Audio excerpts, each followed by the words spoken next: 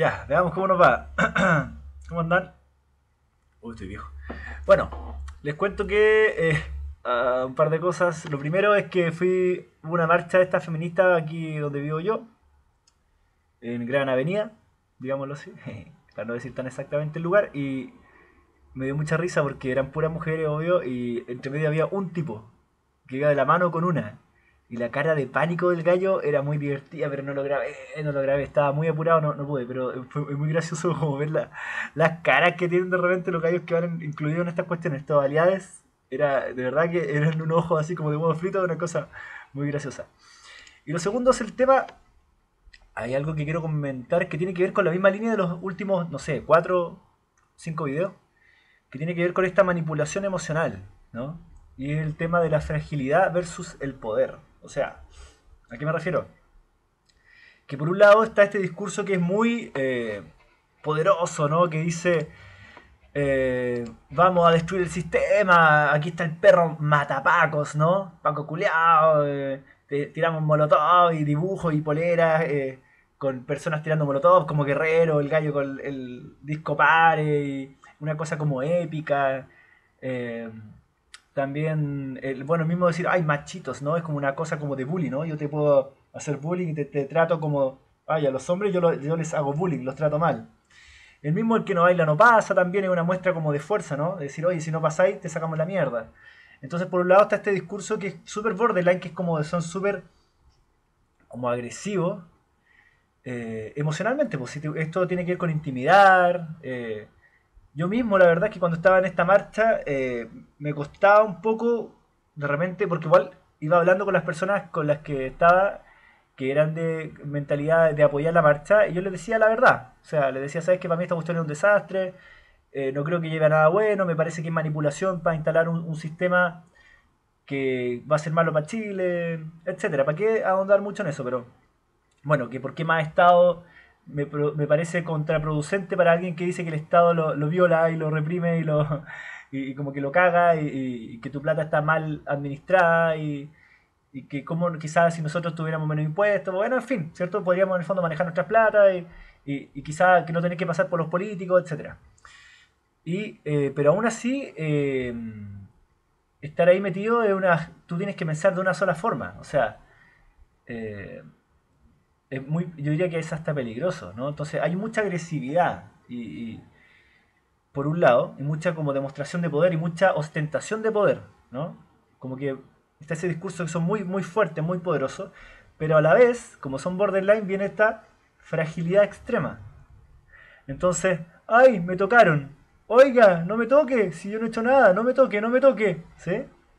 Eh, estaba viendo un video del tipo que estaba hablando a un carabinero y el tipo, carabinero no le hacía nada, pero era no me toque, no me toque, no me toque. de repente pasó a ser de súper choro, de preguntar, oye, ¿y por qué no tienes tu nombre? ¿Y qué te creí?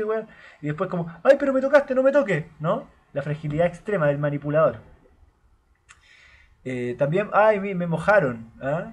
Hoy, mire, yo no estaba haciendo nada, y miren, dime tu nombre, dime tu nombre, ¿no? Es como que de repente son víctimas así como de la, la lista Schindler, ¿ah? Eh, también me pasó que iba caminando, pasé por un espacio que tenía, había eh, bomba lacrimógena, había, habían lanzado, y era como, mira, mira, que, porque yo decía, ¡oh, qué fuerte el olor! Sí, pues mira cómo nos reprimen. ¿Ah? O sea, todo esto, eh, eh, el discurso del tipo, me violan las palabras, me viola el Estado, el Estado, el carabinero, la justicia, la heterosexualidad, el capitalismo es violador. Bien, o sea, la violación que era un una palabra súper importante y fuerte, y lo es todavía, espero, eh, pasa a ser una cosa, eh, igual que el machismo, igual que son palabras como que pierden valor, porque es tanta la, la digámoslo, la necesidad de controlar y manipular, y, el, y cómo esto es no tienen límite, o sea, son capaces de hacer cualquier cosa para manipular y llevarte a sus metas a través del control y la manipulación, que ocupan palabras horribles y te acusan de cosas horribles, o sea, ¿Quién no es violador? ¿Quién? ¿Quién? O sea, la justicia violadora, el carabinero violador, la heterosexualidad, el hombre blanco, todos son violadores. tus palabras me violan, ser de, no sé, derecha me viola. Eso, eso es propio de una persona súper mala, po. así como hablando de manera gruesa. Eh, me refiero con mala como manipuladora, controladora, y como les digo que no tiene No tiene límite, o sea, es capaz de hacer cualquier cosa para eso, para lograr sus metas. Entonces, claro, pues volvemos a hablar de la manipulación borderline, ¿no? Eh, esta cosa como uso y manipulación emocional y también esta, esta división entre un odio, odio parido y después una fragilidad extrema, ¿sí? Para poder en el fondo atacarte constantemente, pero a la vez victimizarte. O sea, victimizarse a la persona. Es súper cruel, ¿sí? Lo mismo que, bueno, todos han visto que pasa con el tema de los derechos humanos, que está también ese discurso que es como, eh, no sé, oye, a una persona le hirieron eh, en la zona ocular. Y, oye, pero ¿sabes que un carabinero, no sé, pues, qué sé yo, la carabinera le tira un molotov? Ah, ¿qué importa esa weona? Total. Pero si es paca, no tiene, no tiene derechos humanos, no tiene por qué tener derechos humanos, pues no sea ignorante. ¿Sí? Entonces, como que hay dos seres humanos, digámoslo así, como dos tipos de seres humanos. El que está del lado del borderline, que es víctima eterna, y el que está del otro lado del borderline, que tiene derecho a ser maltratado.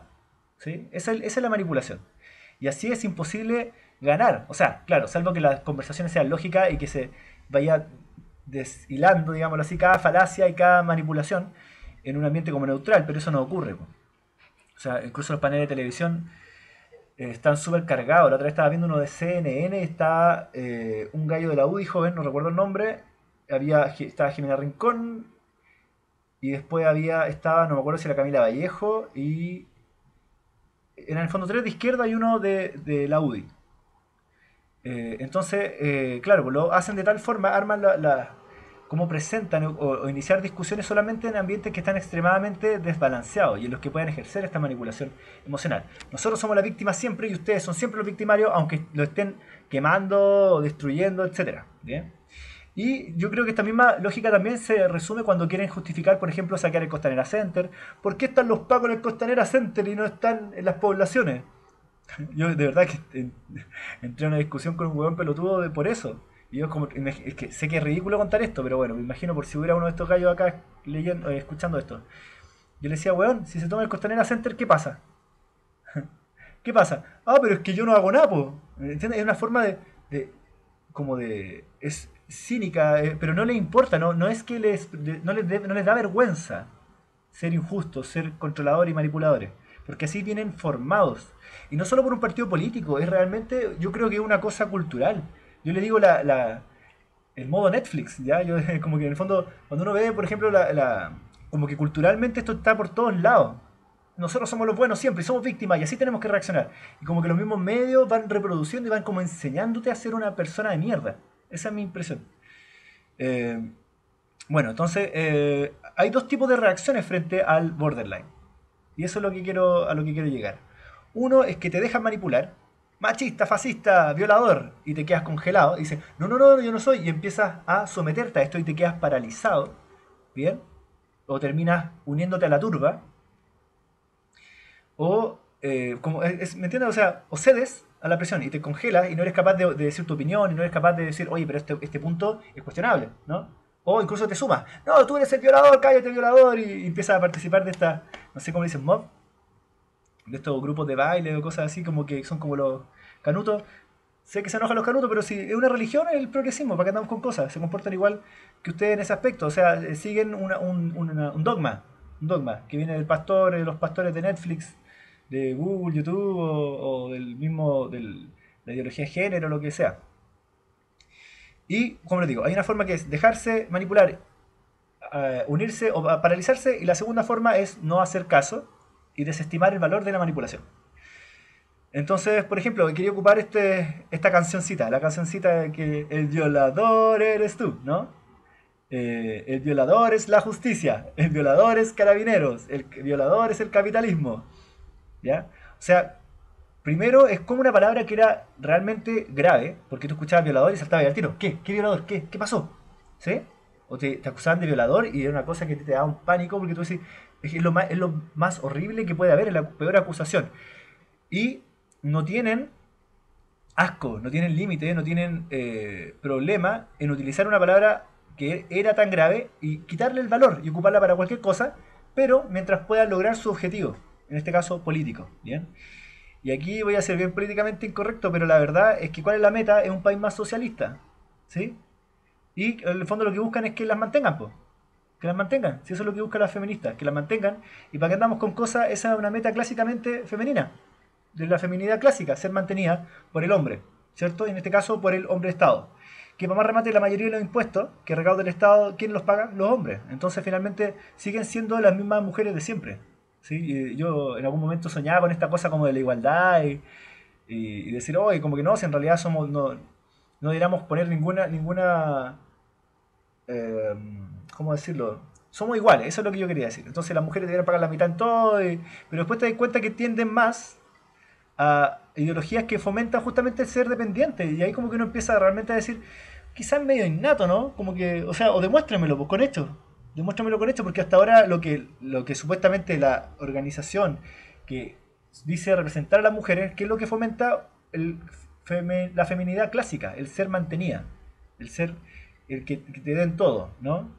Y no saben nada que destruyen la economía, destruyen los países por lo mismo. Y eh, entonces, como les digo, cuando yo empiezo a decir el violador eres tú, el Estado, y todo lo que no me gusta es el violador, eso habla súper mal de la persona, po. pero no lo... Claro, culturalmente eso se invisibiliza, pero la verdad es que lo que deberíamos empezar a decir es, oye, estoy ocupando una palabra súper grave para decir todo lo que no te gusta, querís penca, weón. Querís manipuladora. Eres capaz de hacer cualquier cosa para lograr tus metas, hasta lo más bajo. Bueno, como dice Agustín Laje, la única forma de sortear estos intentos de control y manipulación es burlándose. La única forma, es desestimando. O ser poseído, controlado, dominado, castrado. Entonces la única forma es reírse. Así que voy a decir, el violador eres tú. El violador es tu vieja que está mirando. El violador es el que pone dislike. El violador es el que no se suscribe a este canal. ¿Quieres comentar? El violador eres tú. Un abrazo. Todo lo que no me gusta es violación. Un abrazo, Sandija.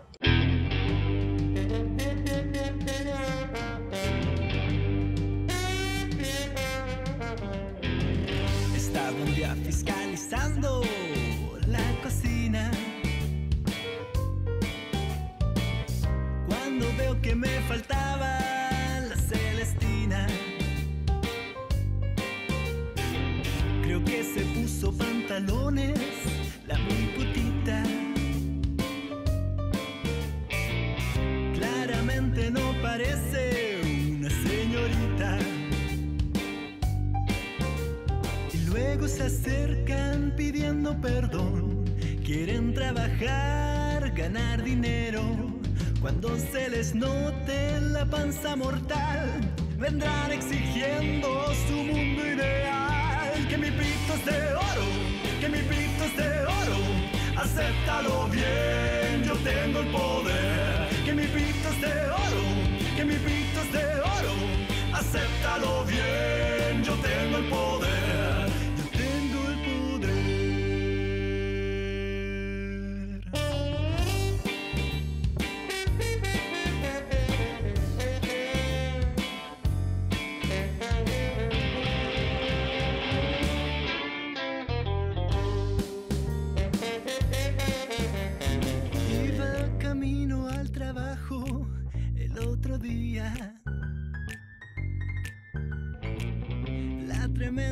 cuestión.